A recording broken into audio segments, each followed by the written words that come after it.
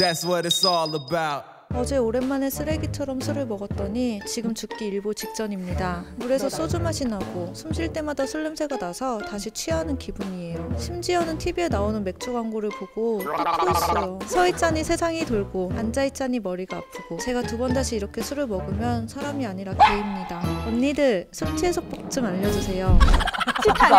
아 그게 아니고 이거 봐봐 어. 숙취 해소법을 알려달라 그러지 그러니까. 지금 술을 덜 마시겠다는 이런 얘기는 또 술을 안- 계속 내 먹고 거- 싶은데 약간 내 거야. 나는 사실 이럴 정도로까지는 나는 그러면은 너무 힘들어 나는. 그래서 중간에 술을 취했다가 깼다 취했다 깼다가 약간 왜? 왜 그런 눈으로 아니 날 봐? 술을 취하려고 먹는데 그거를 술을 어. 취했다가 깼다가 취했다가 깼다가 뭔 재미야? 나 페이스 조절하는 거야 내 나름대로. 어머나. 아니! 언니는 술 먹으면 한 한 두 잔 먹었나? 그럼 그때부터 머리를 머리로 싸대기 싸대기 내가 이럴 동안 치타는 이러고 있다가 치타가 올라왔을 때 그때부터 난 정신을 차리려고 해. 치타 집에 가야지. 정신 차려야지. 아니 나는 어. 집이 어. 없어 언니 나 집 없는데? 어딜 가?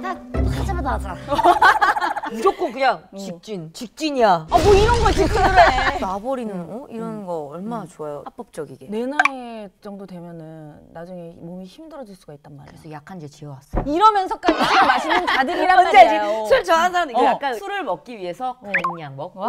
비타민 먹고 양배추 먹고 대단합니다. 어렸을 때는 나도 엄청 마셨던 적이 있는데 그 다음 날의 그 숙취로 오히려 막 기름 있는 막 햄버거라든지 피자라든지 그거 먹잖아. 그러면은 아예 그냥 더러운 게 그냥 그거 나가 시옷 쌍디그.